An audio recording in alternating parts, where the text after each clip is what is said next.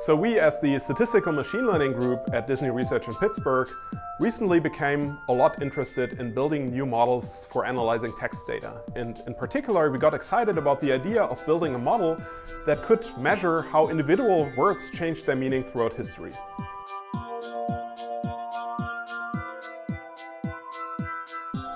The model we came up with combines neural network models with more classical statistical approaches in an interesting new way.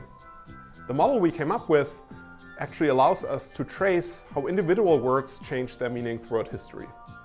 Word embeddings represent words by points in a so-called semantic vector space. And words of similar meaning appear close to each other in the semantic space.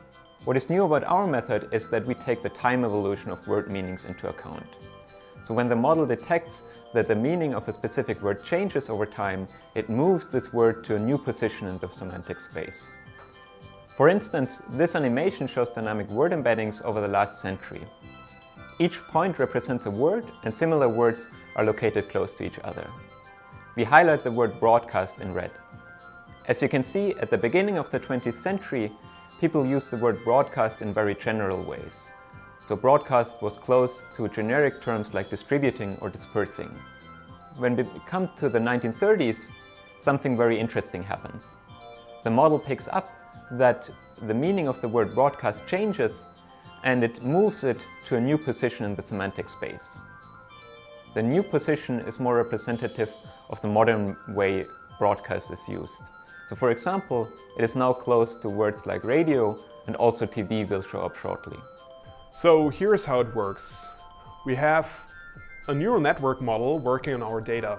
This model makes a proposal of how it thinks the word cloud should be arranged at this given moment in time. Now, this proposal gets passed on to another model, which is a so-called Kalman filter.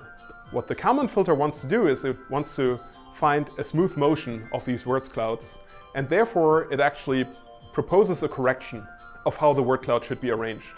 With our method, we can train the model on the entire dataset and we don't have to split it into separate time slices. This way, we can use the entire dataset to find good word embeddings while still allowing word embeddings to drift smoothly over time. In short, we have combined neural networks with classical statistical methods to discover subtle changes in word meanings over time.